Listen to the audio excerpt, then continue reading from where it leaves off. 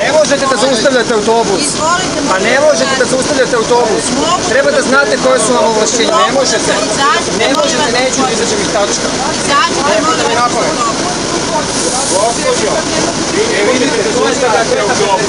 Molim vas, nemojte Nemate da prava da zaustavljate autobus. Možete da zovem komunalnu policiju. Nemojte da zaustavljate autobus.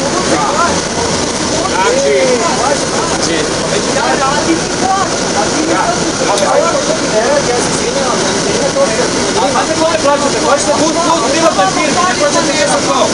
Ne plaćate GSP.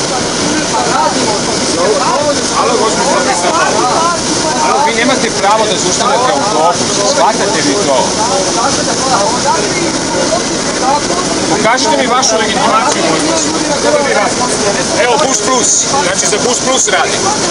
Što nosite te majice ko radite za Bus Plus?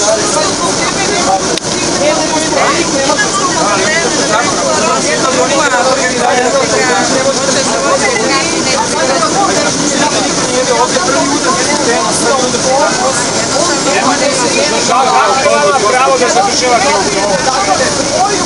Ja treba da kršam, ja treba da kršam. Ljudi, ja ću da izađem, pusti, ajde pustimo ljude, pustimo ove ljude, pustimo ove ljude da idu. Ajde, pustimo ove ljude da idu. Vam je rekao da možete zadržavati autobus? Ko vam je rekao da vi možete zadržavati autobus? Ola, gospođo, šta je s? Ko je vama rekao da ne? Vi se mešate, se mešate. Šta se? Šta se mešate? Koga? Koga vas je?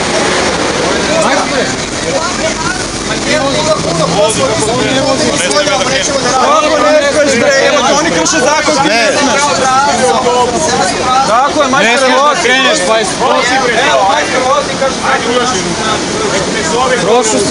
Ajde nemam pare, ne Samo saobraćajna policija sme da se utrga, ne smeju oni. Ljudi morate da znate zakon, ne poznajete zakon, samo znate da morate da Svako dođe ovdje da zaustavlja autobus. Pazite vi, molim vas to. Čitao, gledao sam. Odakle vama, gdje je taj pravilnik gdje piše da vi možete da zaustavite autobus? Sram vas bilo. Odakle, gdje je taj pravilnik, gospodin? U kom pravilniku sve idu sve voze? Da vi zaustavljate autobus.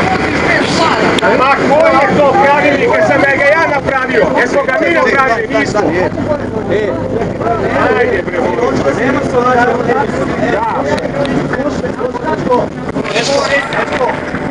Oni hoće da se međusobno slažemo. Oni kopne se narod. Nemoj, posti je, bre.